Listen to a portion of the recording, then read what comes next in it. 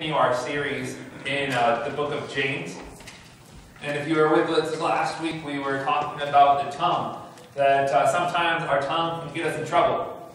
Right? It's a, it's a small member of our body, but it's connected to one of the biggest parts of our body. It's our heart. And the Bible talks about that out of the abundance of the heart, the mouth speaks. And so James had us uh, some wisdom. And this week I said we're going to continue this kind of continue this thought pattern, but we're going to ask the question of how do we get this wisdom? So if last week we needed, we said we needed a heart change, then this week we're going to say, okay, where do we get this heart change? How do we how do we receive this wisdom so that our speech is pure, that our life is pure, that our the, the way that we act, what, what we do in our life, it flows from a heavenly um, perspective instead of a worldly perspective. So this morning, let's uh, look at the word. We're in James. Uh, it's a book right after Hebrews, and we're looking at chapter 3 today, verse 13 through 18. So we're in James chapter 3, looking at 13 through 18. So let's read this this morning. It says, Who is wise and understanding among you? Let them show it by their good life, by the deeds done in humility that comes from wisdom. But if you harbor bitterness, envy, and selfish ambition in your heart, do not boast about it or deny the truth. Such wisdom does not come from heaven, but is earthly, unspiritual, demonic. For where you have envy and selfish ambition, there you find discord and disorder and every kind of evil practice. But the wisdom that comes from heaven is first of all pure, then peace loving, considerate, submissive full of mercy and good fruit, impartial and sincere. Peacemakers who sow in peace reap a harvest of righteousness. Let's pray this morning. Father, we thank you for your word. I pray and I ask that your Holy Spirit would be present with us, that we would receive from you. We thank you, Holy Spirit, that you are one that reveals truth. So, God, I pray that our hearts would be open, that our ears would be attentive yes. to what your Spirit is speaking to us today. Father, that we would receive from you heavenly wisdom, not earthly wisdom that would be full of all sorts of evil, but, Father, heavenly wisdom that comes from above. We pray this in Jesus' name. Yes. Amen. So, I was thinking if you're here this morning, I believe that you're seeking after Jesus that you're wanting to receive from Him. You're wanting wisdom. And so, what we're going to go through is, is a three, um, three questions this morning. One is, why do we want wisdom? What, what is the motive behind us gaining wisdom? Why wisdom? Secondly, what will wisdom produce in our life? What does, what does wisdom, when we get it, what does it produce in our life? We need to know these questions. And then three, where do we get wisdom? How do we get it? Where do we get this wisdom from? The one that's going to produce in us this good fruit. Because if you're like me, and I believe we're all this morning lovers of Jesus, you read that second list, wisdom that comes from heaven, and you're like, I want some of that. I, I want it produced in my life. I, I need some of that good fruit that, that that's pure, that's peace loving, that's considerate, that's submissive. And, and, and it, if you're in this room and you say, Yes, Jesus, I want you, you're saying, Yeah, I want that good stuff. I think the other list is pretty easy. I don't want discord and, and disorder in my life. So let's uh, look this morning first. Uh, why do we want wisdom? What is the motive behind the, our pursuit of wisdom? What motivated us? What, what motivates us to work and to get education? What, what is the passion that's pushing you to chase after wisdom?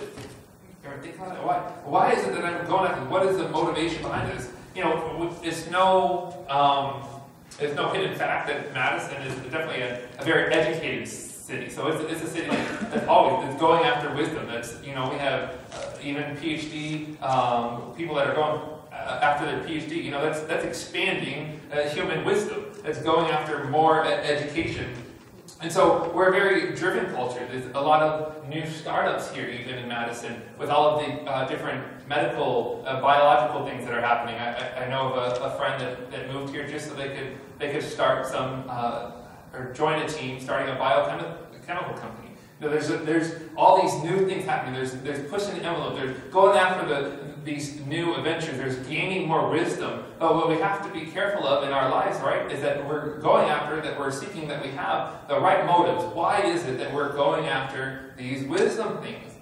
That James uses, and um, if you read it in the ESV or, or even the King James, it says here in James, verse 13, thir- chapter 3, verse 13, that we'll have a that we will know those who have wisdom will know it by their good life and by the deeds done in my version or in the NIV it says in humility, but in um, many words there it says in the meekness of wisdom. James uses meekness of wisdom. And so we, as we unpacked what is understanding of what is meekness, the meekness of wisdom, I believe it will help us examine, okay, where is our motivation? Where is the, the motivations for us seeking after wisdom, for us seeking after more knowledge? It's possible, I believe, for us to be educated but yet be an educated fool. To be educated but yet be a fool. In 1 Corinthians chapter 8, verse 1, it says that knowledge, actually, knowledge can puff us up and can make us full of pride. And if we are full of pride, then we understand, and we'll see in James in the next, uh, actually, it'll probably be two weeks. It'll be the baby dedication on the on the 23rd, but we're talking about uh, the opposition of God. So if we are full of pride, we're in actually opposition of God and of others.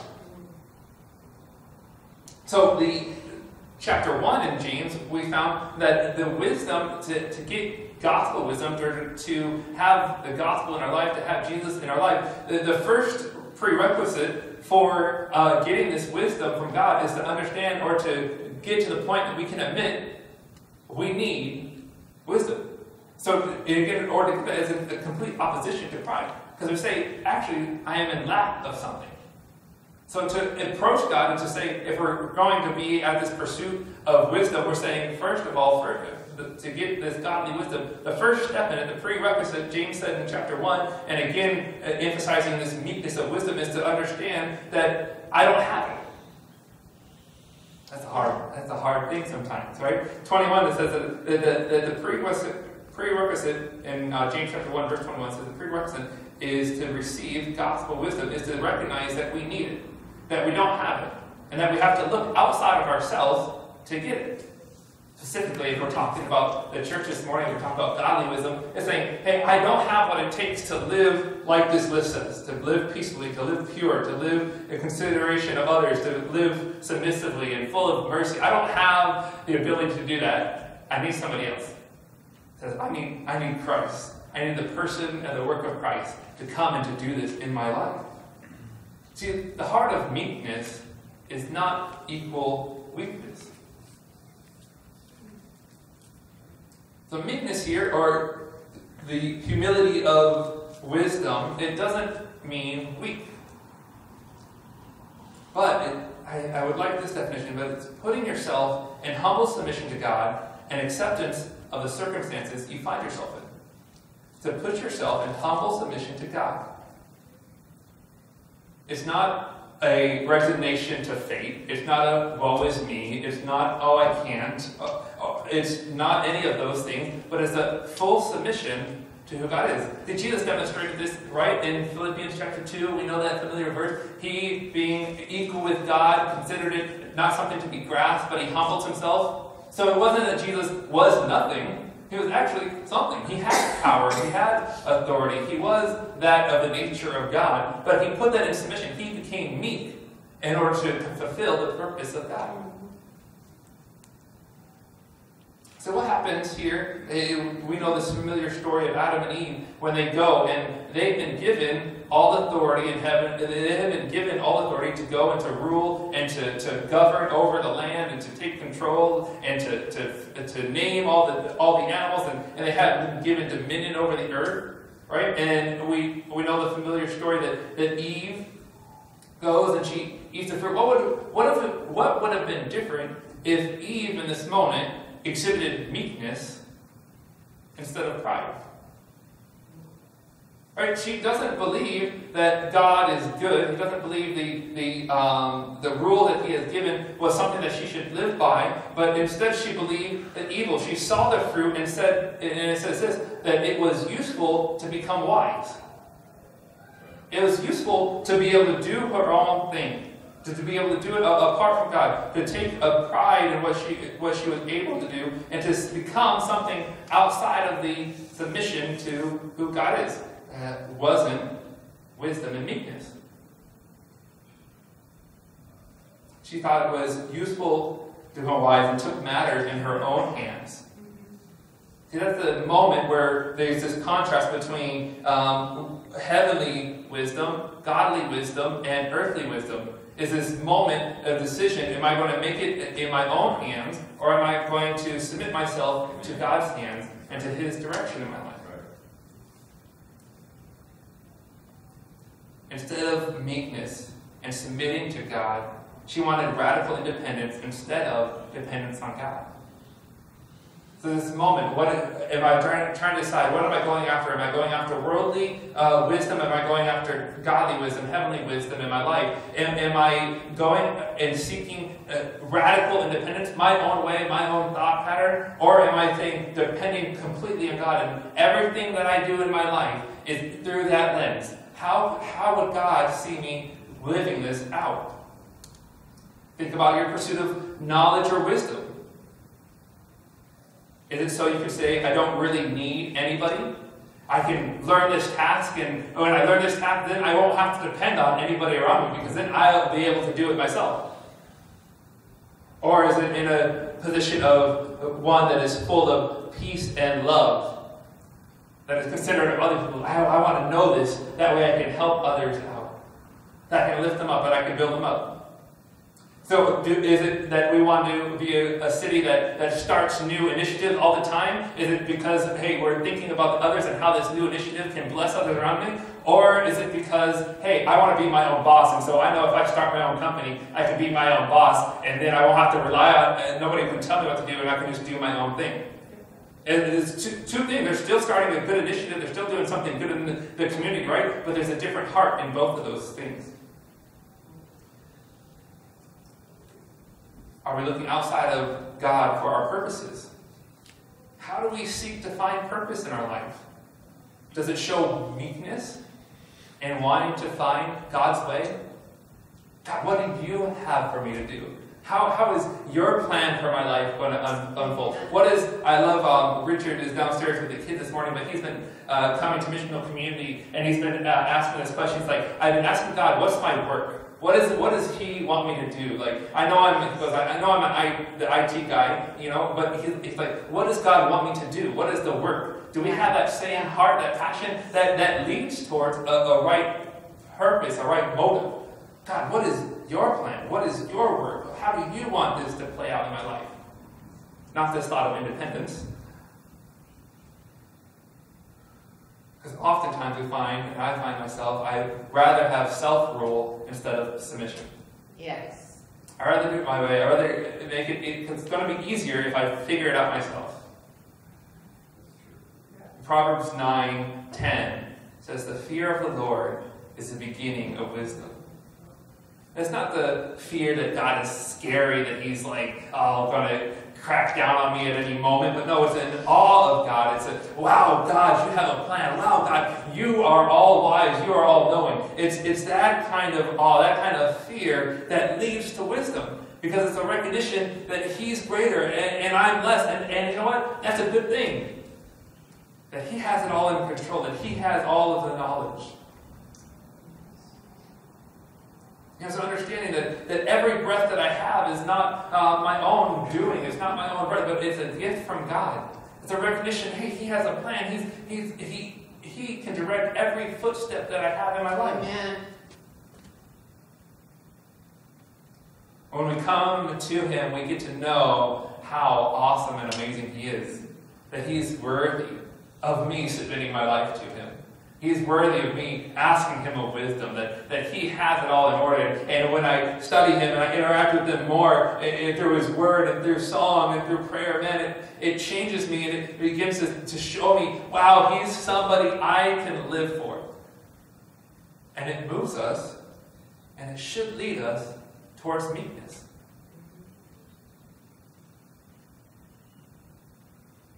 There's no one better to live a life full of wisdom than Jesus himself. And so I say, wow, I want him more and more and more.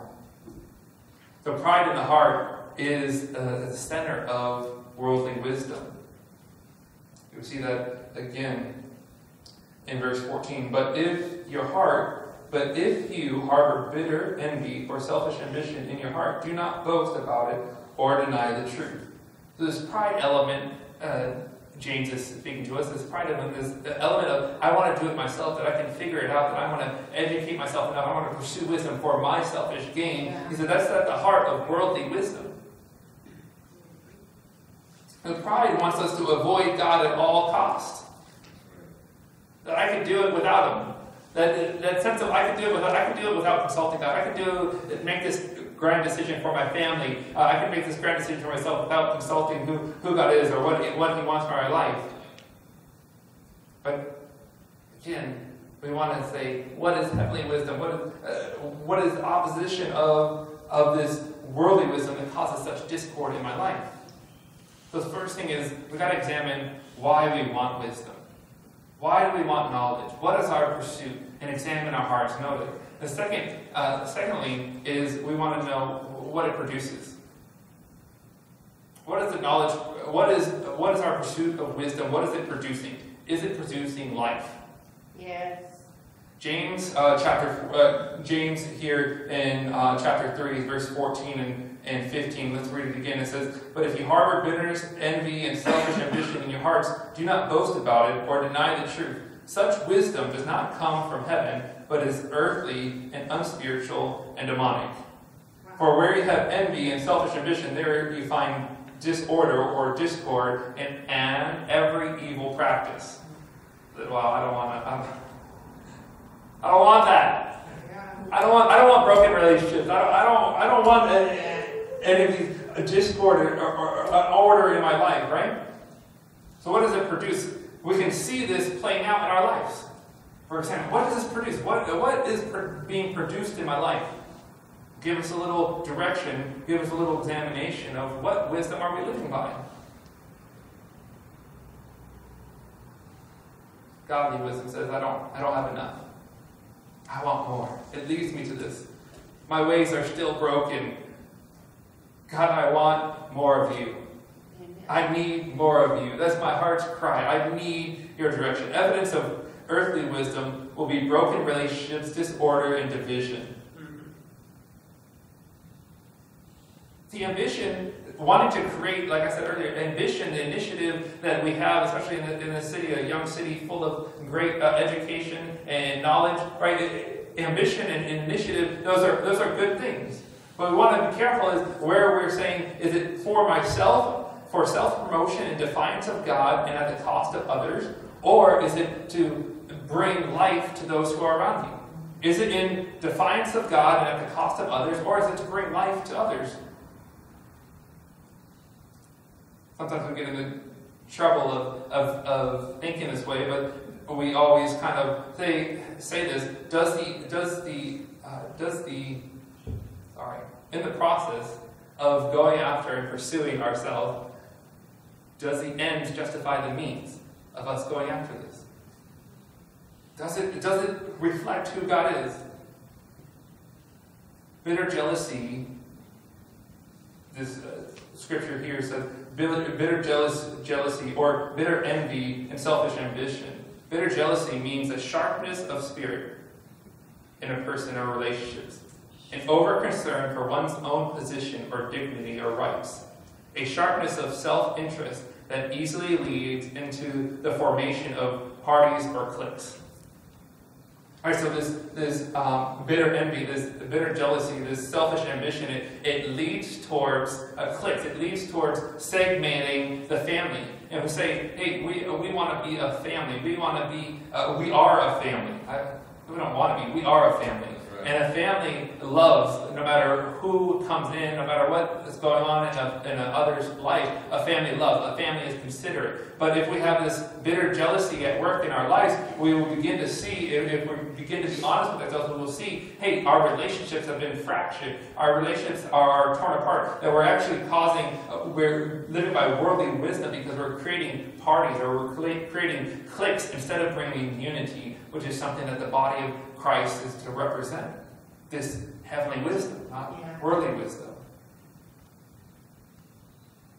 Again, what leads to division, what leads to this, this, this discord is when we are beginning to think only of ourselves. We went over this a couple weeks ago that, that love is to think about my greatest, uh, think about whatever I wanted greatest for myself for others. We want to do that for the other.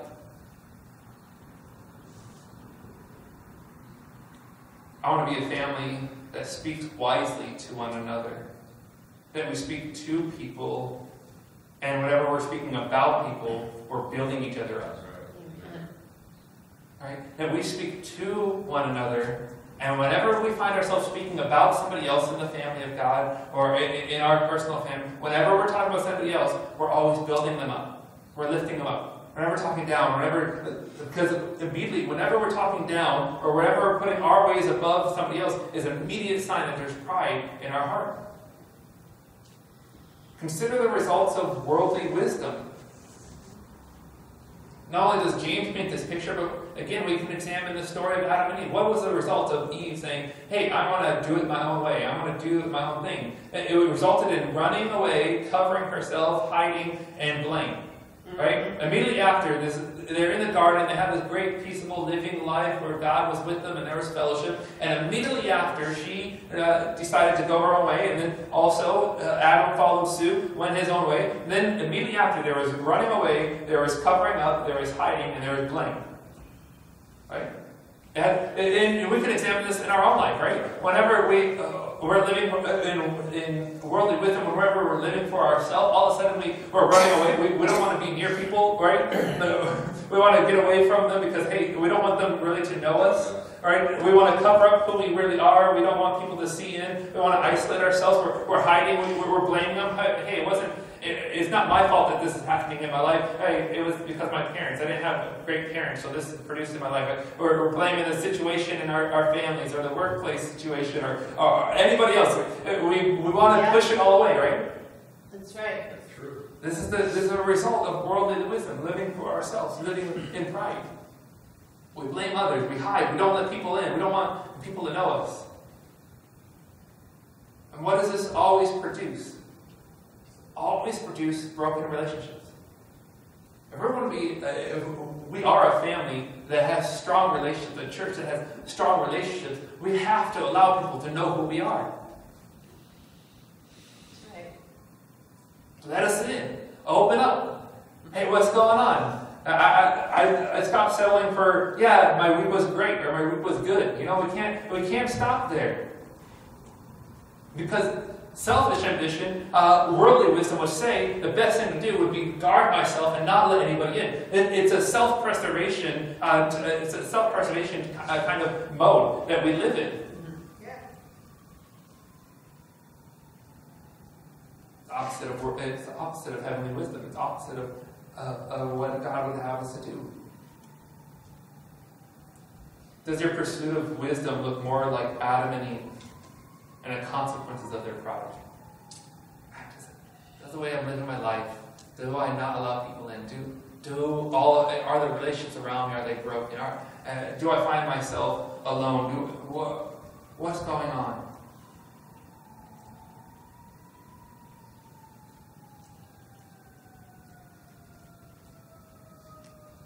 Godly relationships are strong as we allow ourselves to be open up to see who we really are.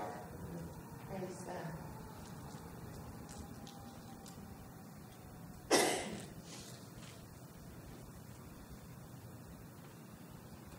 As I was preparing for this sermon, I was listening to a, a friend of mine speak on this subject, and he was talking about a moment where uh, he found himself in the midst of worldly wisdom and found himself seeing godly wisdom being called out to him. And, you know, as a teenager, we all are living defiance of our parents, probably. We're, we're trying to figure out our, our own, uh, who we are, and, and something that leads to, to selfish thoughts and selfish actions. So there's a moment where he was talking about being in an argument with his with his family, and he was arguing with his mother, and, and his and he told his mother, you know, he just wants to move out and leave. And so his mother actually was a, a very very godly woman, and, and in the moment of all this arguing, he he was reminded of all the times that he's walked in on her praying and, and all this stuff, but he just had enough and he was going to leave. And so he said, All right, here's the, his mother told him, here's a suitcase, you can go. So as a you know really independent teenager, he packed his suitcase and went across the street to his friend's house. But uh, he's down in the basement with his friend, and, and they're talking, and you know, two teenage guys talking about how terrible their, their parents are, and you know, and hey, if they just didn't have them, they could go live their life, and they could just go do their own thing, and oh, it's just so so terrible, right? But then in this moment, and in this, you know, great moments of independence, he went across the street and went to his friend's basement to live. so far. His, so far away. His mother comes to the house. And his friend, his mother comes to the basement door and calls down, Hey, come on up, your, your mother's here. His mother actually comes to the basement door and he calls out to him and asks forgiveness and say, I'm sorry that I told you to leave. Would you come back? Would you return to the home? Would you forgive me? And in this moment, he says that it was, it, it was this moment where wisdom, godly wisdom, was crying out to him. A complete picture of opposite sides going here. Worldly wisdom, hey, I want to do my own thing. I'm, I'm leaving. I'm, I'm getting on the road godly wisdom coming and being full of mercy, forgiving, gentle. In Proverbs, it says that wisdom cries out in the street. Wisdom is calling from the gospel today and is asking us to come and to receive from it. In James chapter 3, let's look at 17. Wisdom that comes from heaven is first pure, then peace loving, considerate, submissive, full of mercy, good fruit, impartial, and sincere. Peacemakers who sow in peace reap a harvest of righteousness. Last week, again, we talked about our relationships and described a relationship that when we treat others, we should treat others in the is a person in Jesus' disguise. Jesus' disguise in the person that we're interacting with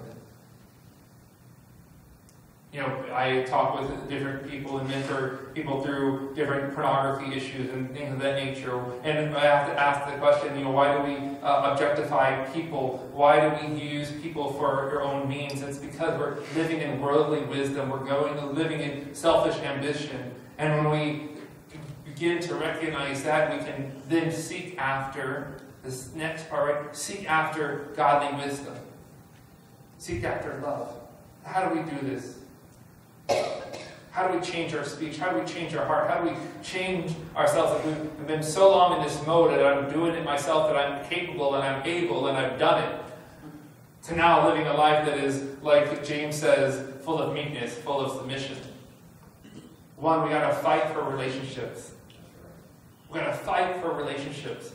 If in worldly wisdom things are all for myself, so hey, if I lose a relationship, it's okay. But no, as a God, the one that is full of godly wisdom, we fight for a relationship. If, if we don't have the motivation in ourselves to do it, we look to Christ and see how Christ fights for us. That He's on our on our side, and He's for us, and He's on our behalf. He's fighting for us. He's, as Pastor encouraged us this morning, that He's praying right now at the seat, at the side of the Father, and He's praying for us, and He's interceding for us. He's fighting that we would make it. Yeah. If we're going to be ones that are full of godly wisdom, full of, of heavenly wisdom in our life, we're going to be ones that we're going to be fighting for relationships, fighting for unity, going at whatever it's going to take. I'm going to learn how to make this thing right. Gentle tenderness, tenderness wins one another over in the way that we speak and the way that we love.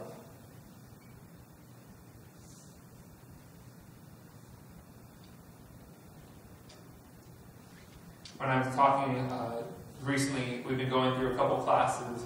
Those in our mission community knows uh, maybe I'm a little tired of it, but we, with the last two Saturdays, uh, we spent eight hours learning about uh, the children that we'll be uh, adopting this summer. And so, as I'm hearing about all these different situations, it's, it's really painful to hear about all of the stories of, of these children and what they've gone through and that led them to be at this point of needing to be adopted. And I think in this moment, and, I and I'm examining myself, and and if, if I'm honest, I'm like, this sounds like a huge task. It's like uh, all these stories of brokenness.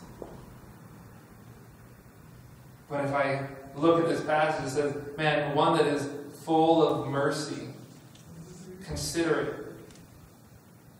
I, I want to I wanna be that for these children, to bring wholeness into their lives. We should have that same thought towards one another. We talked about last week, I mentioned that people are just, uh, that are, they are Jesus in disguise. When we're interacting with people in their brokenness, we're, we're seeing Jesus in, in disguise. And so when we see, when I when I'm learning about these children, when you think about your children, when you think about your coworkers, your neighbors, those difficult people in your life, are we going to be in selfish ambition, just push them out? It's, it'll be easier to push them out and to do my own thing.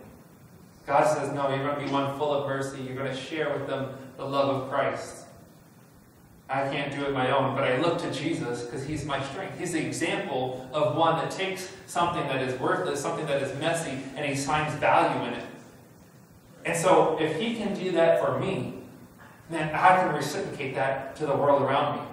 If Jesus can, can who is equal with God, can, can push that aside for the sake of coming and, and bringing life to the world, man, I can forget about who I am and all my likes and dislikes, right?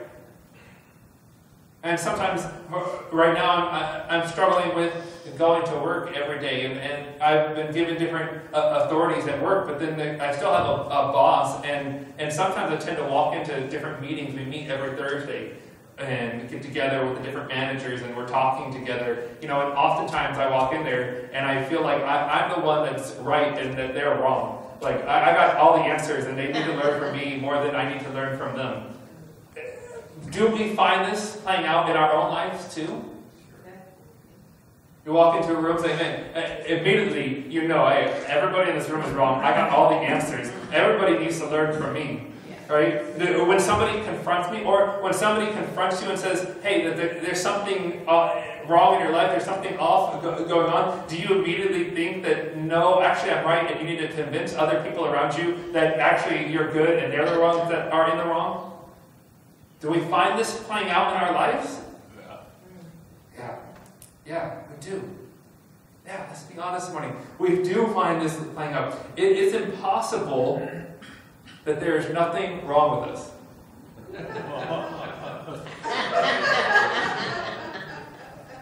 it's impossible.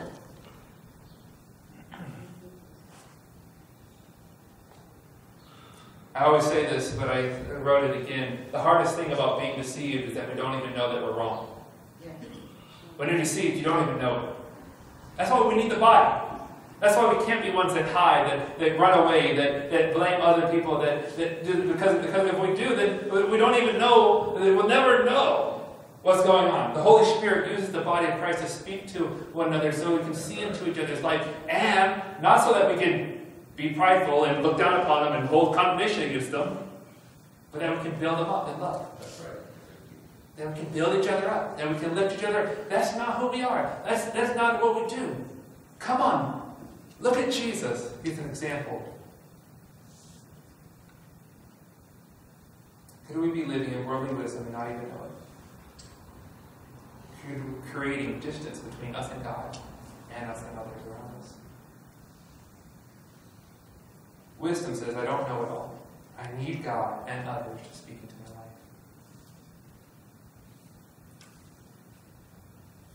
Could we be living in worldly wisdom and not even know it, creating distance between God and others? Wisdom says, I don't know it all, and I need God and others to speak into my life. Wisdom is full of mercy. It's eager to forgive. It doesn't hold wrongs. It doesn't. It, it, it doesn't hold wrongs. You know, when I find myself living in worldly wisdom, I find myself not wanting to forgive. Because if I don't forgive somebody, then I have something to hold against them. And I can actually take a position of authority over them and condemn them for what they've done wrong. And I can hold it above them, whatever they've held against me. But in godly wisdom, we say, you know what? In meekness, I forgive you. I release you from that wrong. Because we understand I've been in that same position. In Christ, who had the ability to condemn me, chose love instead. Christ had every right to condemn me. The Father has every right to hold these things against me. But instead, he chose mercy. Godly wisdom does not keep a, a record of wrong, but is eager to extend grace, mercy, and forgiveness. It is full of good fruit. It doesn't discriminate. It is sincere. It is loving. It is peaceful. It brings unity. Do these words describe how we relate to God? Or how we relate to others? Pure, peaceful, gentle, open to reason, mercy and good fruit, impartial and sincere. All right, so I know at this point in the sermon, I was the same way. I'm preparing all this, and I was just like, this feels really heavy. And so I don't think we need to convince, uh, I don't think we need to go any farther in convincing us of the evidence of our worldly wisdom that we've been living by. Right? We, we're broken people. And I know in my life I've, I've produced some brokenness. There's evidence of it. I got some relationships that need to be worked out. I got some things that, that I need to create some peace in. I, I, I, can, I can see it. See it this morning? I love the Holy Spirit. I say this often. I love the conviction of the Holy Spirit. I love when He speaks truth to me. I hope we also get in that mode. I love it, God, when you show me that I'm not like you. So, where do we go to get godly wisdom?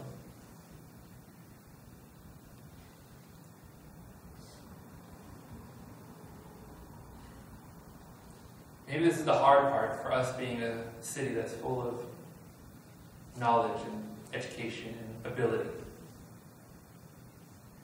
We can't create this kind of wisdom. can't like uh, it's not something we can like do a training course on. Here's how to have godly wisdom. You know why? Mm-hmm. Because this wisdom only comes from above. It's heavenly in nature. It's not something we can create or develop, strengthen my muscle. Right? It's a gift from God. This wisdom is granted to us in the gospel. When we come before God, as James said in chapter 1, when we admit, I don't have it. That's, remember we said, that's a prerequisite. The prerequisite to receiving this wisdom is to say, I don't have it, and I need it, which you give me wisdom. And it said that if we ask of him anything, especially, James says, when we ask him of wisdom, he grants it. He gives it. It's not something we can work on. It's not something that we can create. It's something that we get from above. It's from the heavenly realm. And what's so amazing about the New Testament revelation is that the heavenly realm is now open to us. All the things that are in heaven now we have with us. It says that we should fix our eyes on Jesus, the author and perfecter of our faith, who endured the cross for us. That we, when we fix our eyes on Him, then we receive from Him. In 1 Corinthians chapter 1, verse 24, it says, Jesus is the wisdom of God. So it's on uh, how do how should I live? How should I live my life? How, what is this? How do I live a, a way that is full of wisdom, full of heavenly wisdom instead of earthly wisdom? I fix my eyes on Jesus, who is the wisdom of God, who lived a wise life that was gospel centered. The kingdom of God is given to us. Jesus said, the kingdom, I, I give you the kingdom. The kingdom of God is given to us. We can experience another life right now, right here, on this earth, on this planet, in Madison, in your city, in your home. We can experience this because Jesus went to the cross, where wisdom went to the cross in exchange for our foolishness. Wisdom went to the cross in place for our foolishness, for our, my mistake, for my selfishness. Jesus submitted himself for my sake. Not only did he go to the cross and die for our sins, but he rose again on the third day and now sits at the right hand of the Father with power and authority and victory and gives us the power to be what? To gives us the power and the ability to walk in heavenly wisdom. Jesus is eternal, and he's in the heavenly realm, and he's been given to give us that same ability. We have all of him. We are co-heirs with Christ. Yes. So when we come to faith in Jesus Christ, when we believe that he died for our sins, that he granted us forgiveness, that he rose again on the third day, and he washed away all the sins that are against us, and he is now seated at the right hand of the Father. When we believe this, all that is in Jesus all that He has done, all that He has lived, is for us. Amen. It's ours in the heavenly realm. It's our inheritance. Paul says it in Ephesians 1 3 that every spiritual blessing in the heavenly realm is ours, it's been given to us. So we want wisdom? Look to Jesus and say, Jesus, give me that wisdom. Yeah. I need heavenly wisdom. I'm tired of doing it myself. My concern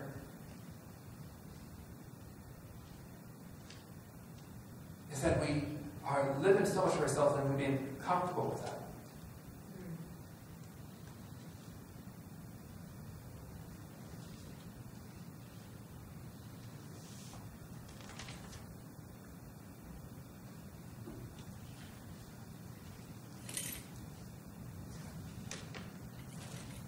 And we've been living, living for ourselves and we've been comfortable with that.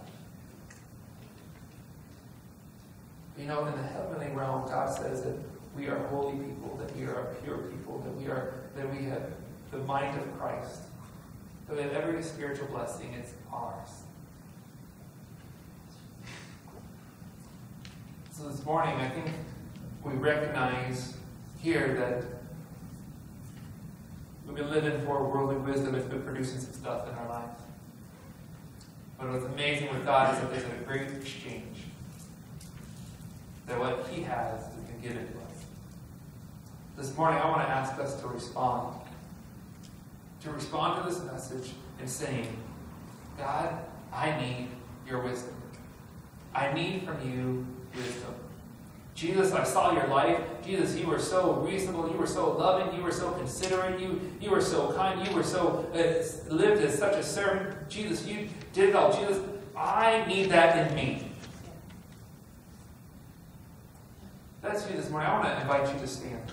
Say, I need wisdom. Remember, the prerequisite to receiving wisdom is saying, I need it. Recognizing I can't do it myself. I need wisdom. And this morning, I want to invite you to come to the front. This is the place that we can come and we can pray and seek God.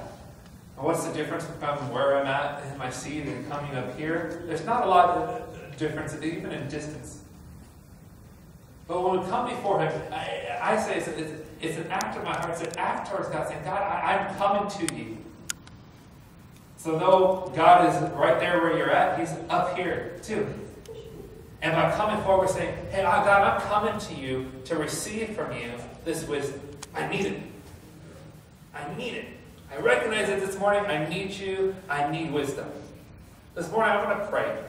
And if you, uh, I want to say, if you feel comfortable, I don't even want, if you don't feel, if you need to be up here. We need to come forward. Even if it's uncomfortable for you, we need to approach God. And when we approach Him, He'll meet us.